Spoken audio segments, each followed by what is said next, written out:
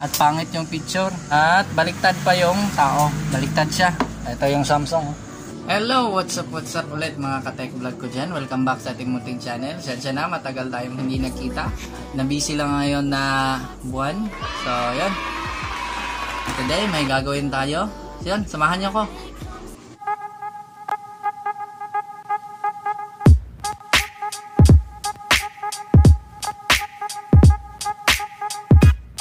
So yun guys, meron tayong Sharp Acos dito, 32 inches. Ang problema na tayo is mainboard niya. Mainboard niya talaga. Wala nang power, walang standby. Na-trouble ko na rin. Yan, nag-cut na ako. Kinabitan ko ng back converter at walang uminit ng mga resistor at capacitor. Yung uminit, ito. At nagkaroon na to ng leak. Ito na talaga ang problema. So, sayang naman yung panel nito. Okay pa naman ang panel mainboard lang yung problema. So ita-transfer natin to sa Samsung. Kukunin ko muna yung Samsung.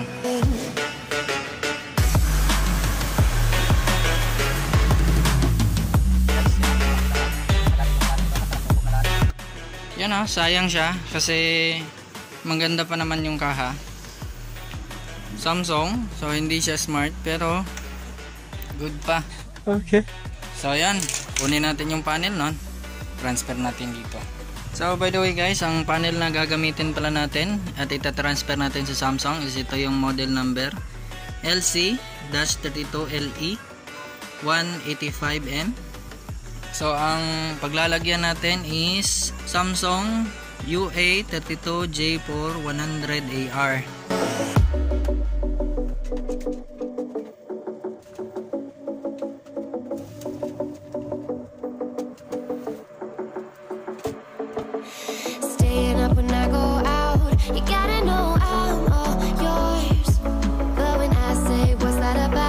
Ah, ito yung basag na panel Samsung. So tapos na tayo dito. Yan na tayo sa Sharp.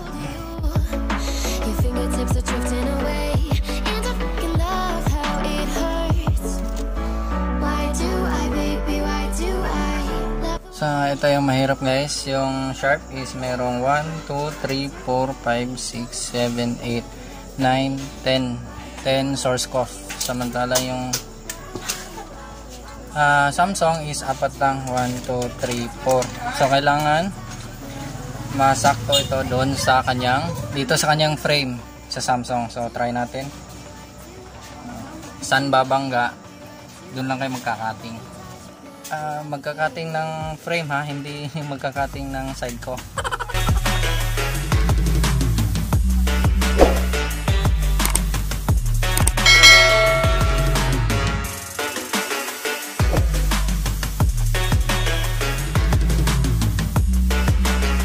Sakto naman guys. Saktong sakto. Yan, okay lang pala siya. Wala namang bumabangga dito sa mga frame niya. Pwede. Okay.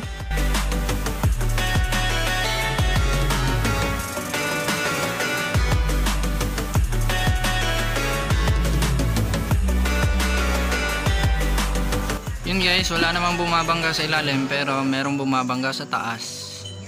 Ito, itong lala lagayan ng ano to, ah, top board.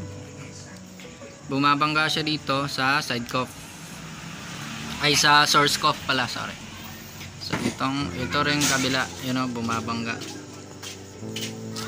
Pag pinilit natin 'yan, masisira yung source cuff natin. So kailangan magka-cut lang na tayo ng maliit dito saka dito rin sa kabila so yun guys saktong sakto so tinanggal na lang natin to yung nasa ilalim. Yung kabila rin no? so sharp na yung panel natin. At yung board is yung kaha at board is Samsung. So yun guys. Dito na tayo sa LBDS kasi yung LBDS nito is you know magkaiba. So, kahit magkapareha yan, hindi pwedeng kabit yan kasi magkaiba yung data signal nun sa mainboard. Magkaiba lang din yung data signal nito. Yung data signal nito guys, mabait naman yung Sharp at binigay sa atin dito. ang data sheet ng ang LBDS is ito. Kita mo yung A. A din dito sa kabila. So, ground, itong 5 pairs na signal, nandito yan. So, sunod-sunod lang yan. Yan. Ang importante lang dito guys is itong R in. Ito yung add, add negative, add 0 negative, add 0 positive, tsaka add, add 1 negative, positive, negative, positive, then clock signal, negative, positive. So, limang pairs yan. Sampu lahat, negative, positive. Ito. Hanggang dito at dito. So, yung S, SCL, wag nyo na ikabit. At SDA, wala na yan. LBDS select, wala na, hindi na natin ikakabit yan. So, dito, yan, sunod-sunod lang yan. LBDS select, ground, tsaka yung 5 pairs na signal. Ito, sa kabila naman, sa main board, dito natin yan ikakabit. Yung Samsung, meron ding data sheet na pwedeng ikabit dito ang panel. So, kailangan kabisado mo lang to. So, dito, merong even 0, negative, even 0, positive, even 1, negative, even even 1, positive, even 2, negative, even 2, positive. So, positive side dito, negative side dito. So, dito lang tayo magpo-focus sa 1, 2, 3, 4, 5 signal. 5 signal. So, asan yan? Dito yan makikita. So, hanggang dito lang oh. 1, 2, 3, 4, 5. So, dito. Ito, add, add 0, add 1, negative positive, add 2, clock, negative positive, add 3. Ito. Dito yung negative side, ito yung positive. So, dito natin 1, 2, 3, 4, 5. Dito lang tayo magpo-focus dito. So, so pag mabaliktad yan, hindi naman masisira ang panel pero mga signal lang naman yan pero wala kang makikitang display. So, dahil wala akong LVDS cable nito, nagsira ako ng LVDS cable. Yan, ito. Ito yung sinira ko at ito na yung mga wire niya. Tandaan natin guys, pag sa signal, positive lagi yung white white wire yung positive so sunod sunod lang yon madali yan namang tandaan yung D plus natin at ground. So una tayo dito sa signal. So ihinan ko muna siya dito guys. Uh, dito sa kanyang data sheet. Yan. Huwag nyo na lang pansinin tong RIN So, ang pansin ninyo is itong 0. 0 negative, 0 positive, uh, 1, 1 negative, 1 positive, 2 negative, 2 positive. So, ito, CLK or clock signal negative, clock signal positive. So, 3 negative, 3 positive. So, lima lahat. Ito na yung nakabit ko. Yan. Ito na yung nakabit ko ito dyan so itong lima na to yan yung signal nya 5 pair signal so dito naman wag nyo na dito naman sa mainboard wag nyo nang pansinin tong even dito tayo mag-umpisa sa 0 ito yung mga negative nya 0 0 negative 0 negative 0 positive uh, 1 negative 1 positive. Sunod-sunod lang yan guys. Tapos pagkatapos ng 2 negative, 2 positive, clock, clock signal negative, clock signal positive. Tapos 3 na naman. So dito yan na kapwesto. Ito. Ito yan. Ito. Ito. Ito. Ito. Hanggang dito lang tayo guys. Yan. Yan yung 5 pair signal. So naguna ako dito sa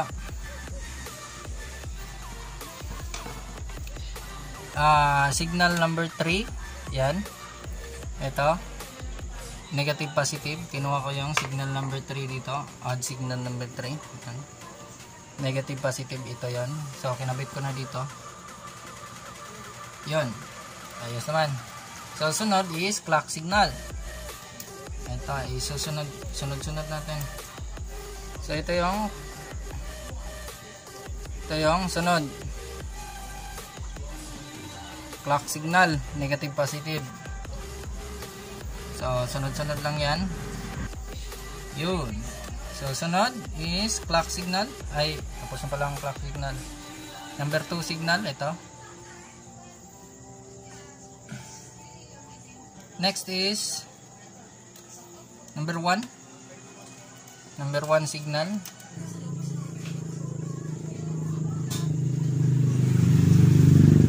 Sunod, yung 0. Yun. Ayos. So, check natin. Ito yung 0. Double check natin. Negative, positive 0. Negative, positive 1. Negative, positive 2. Clock signal. Then, negative, positive 3. So, 5 pairs lahat. Check natin. Baka may nagbaliktad. Double check nyo guys. So, yun. Ayos na yung signal. So, sunod natin is yung supply. Ito yung positive niya. Kakabit natin to. So, yan.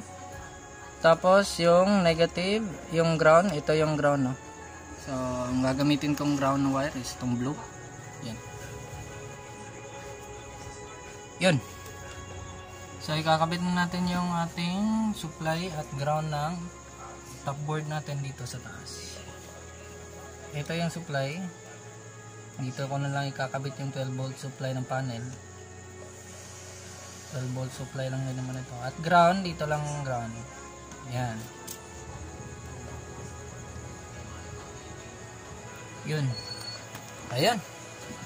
Ayos na siya. Signal, 5 pair signal at ground at negative positive. So, testing natin. Madali lang naman tong trabaho trabahoin kaso kailangan mo makabisa muna yung data sheet. So, good for this panel. Good for this panel. Ay meron siyang data sheet dito sa kanyang LBDS at yung Samsung meron talaga yan. Okay.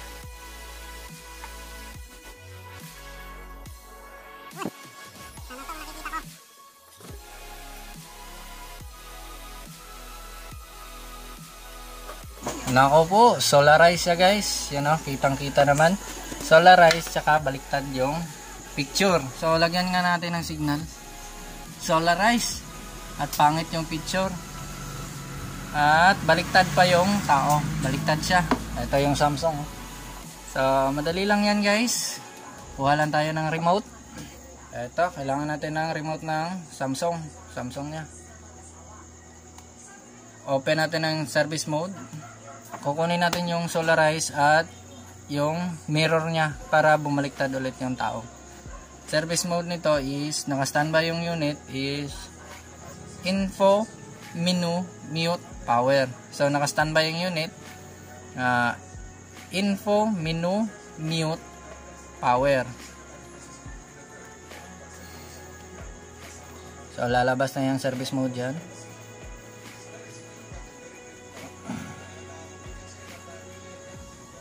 yun ito yung service mode nya so dito tayo sa option. Yun sensya na baliktad muna. So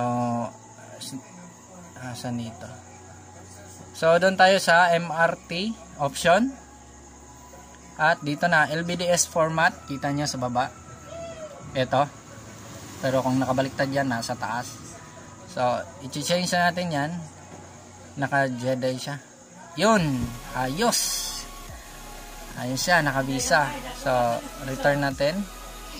So yung mirror nito is um, anong mirror? Ah ito. HB flip. Ito lang dalawa pala. So if flip natin siya. I-on natin yan. On. At yun. Ayos. Napakaganda ng panel natin guys. Ayun oh So, TV Plus ang gamit natin. Wala tayong antena. Hindi, antena dito. So, exit na natin. Return natin. Return, return, return. Tapos, patayin natin. At, power natin ulit.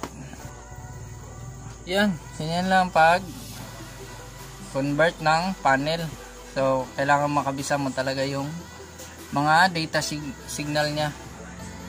Ayos na siya. Ang ganda ng kuha. So, yan. Yan yung kinonvert natin. So, if i-finish up ko na lang to at ite-testing natin ng may signal.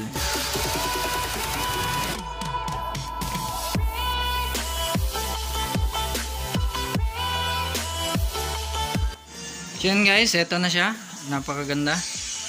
So ayan, yung basag na palitan na natin ng panel. So testing na natin. Tingnan natin yung antenna nito. So nag-rechannel muna ako guys kasi wala siyang makuhang channel. Yun. Ayos na siya guys. Okay. So yun, ayos na siya guys. Dili, i-edit mo ni. Yan, ayos na siya guys. Ang ganda ng kuha. So yan guys, ayos na. So sana may natutunan ka sa vlog ko. Huwag kalimutan mag-subscribe. So subscribe na kung hindi ka pa nakasubscribe at hit mo na yung notification bell. Salamat at salamat sa walang sawang pagsuporta sa aking vlog. So yun. Bye for now. God bless. Ingat.